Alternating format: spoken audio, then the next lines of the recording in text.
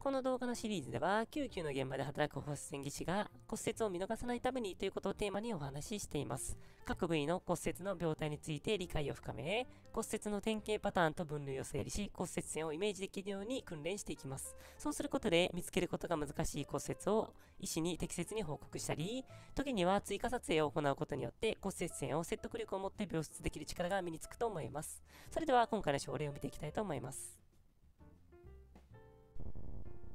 症例は86歳女性で、転倒で肩を受傷してしまった症例です。レントゲンで明らかにこの部分に骨折が見受けられ、上腕骨頭とこの上腕骨の部分で転移が起き、2つのパートに分かれてしまっています。今回の動画では、このような上腕骨筋部骨折について深く見ていきたいと思います。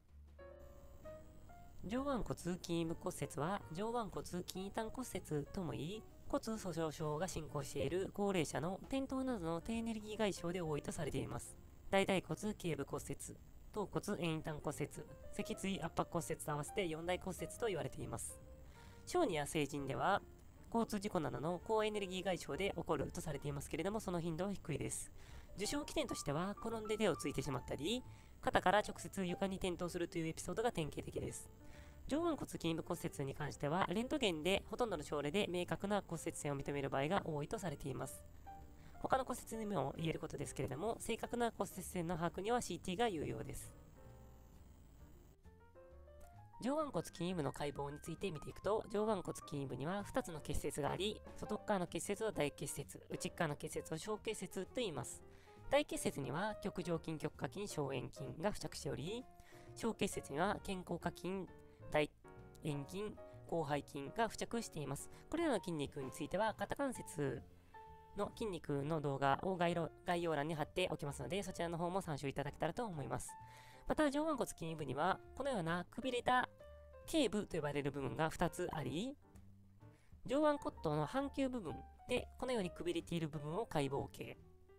大結節と小結節の下の部分で、円柱状の上腕骨体へと移行するこのくびれの部分を外科系と言います。この外科系というのは、この部分が非常に骨折が多く、整形外科的な処置を行う場合が多いため、この部分を外科系というふうに名付けています。上腕骨筋部骨折ではニアの分類がよく用いられます。この方法は骨折の部位を解剖系、外科系、大結節、小結節の4つに分類し、また転移によって分かれたパート数で分類していく方法です。転移とは骨片の1センチ以上の回であれば45度以上の回線と定義され、例えばこの骨折では解剖系の部分に骨折線がありますが、この骨折線が転移の定義を満たしており、2つのパートに分かれているため解剖系の2パート。この骨折では大結節部分に骨折線が存在し、転移の部分が2つあるため、大結節の3パートなどと分類されます。また、このように骨折線が多数あっても、転移の定義を満たさない場合には、ミニマムディスプレイスメントと定義されます。特殊な骨折としては、脱臼を伴った骨折があり、前方脱臼を伴った前方脱臼骨折、後ろ方向の脱臼を伴った後方脱臼骨折があります。2アの分類でこれらを正確に分類するためには、レントゲンだけでは少し不十分で、正確な分類には CT が必須と言われています。ニアの分類を整理することによって、上腕骨筋部骨折の骨折線がイメージできるようになります。解剖的には解剖系、外科系、大結節、小結節でしたが、特に大結節と外科系の頻度が高く、レントゲンを取る前に、このような骨折線があるということを想像しながらレントゲンを取るとすぐに骨折を見つけられると思います。また治療方針の決定のため転移がどの程度あるのか、どれくらいの転移なのか、またそれによるパート数を評価することが重要です。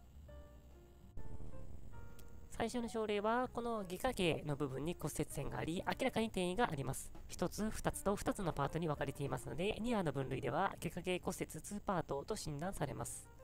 髄内程度の固定が行われました。こちらの症例は55歳男性で交通事故の症例ですけれども、この部分に骨折線が明らかで解剖的な外科系になると思いますが、CT を施工してみると、この部分に加えて、さらに解剖系の部分にも骨折線が見受けられました。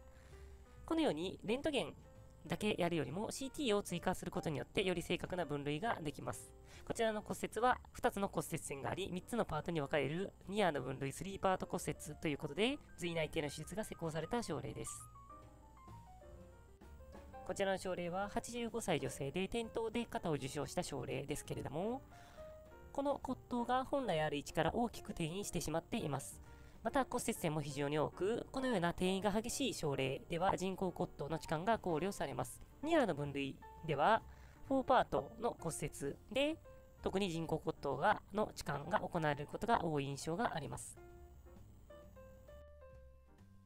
ニアの分類の4パート骨折などの複雑な骨折では人工骨頭の適用となる場合があります。上腕骨頭には液化動脈からの前上腕回線動脈、後上腕回線動脈があり、暗行ではこのような画像が対応するわけですけれども、この回線動脈からの細かい枝が、この骨頭軟骨の部分を栄養しています。外科系や大結節、小結節などに骨折が起きた場合には、この栄養血管ごと剥がれてしまうため、この骨頭軟骨の部分に栄養を送ることができず、上腕骨頭が壊死を起こしてしまいます。それを防ぐために、この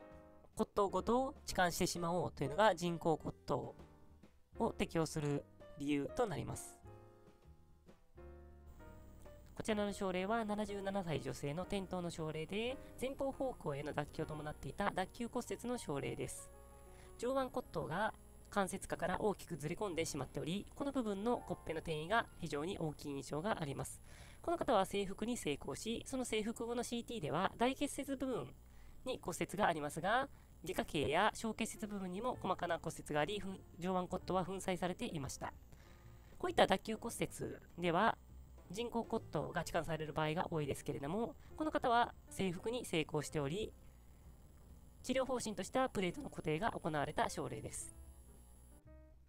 上腕骨筋部骨折の治療方針としては、転移が激しい場合や関節内に骨折が及んでいる場合には手術適用となります。ニアの分類で言うと、ワンパートの骨折や転移が軽微な場合には保存療法がなされる場合が多く、2パート、3パートではプレートや髄内定、4パートまたは脱臼骨折の場合には人工骨頭が置換されることが多いと思います。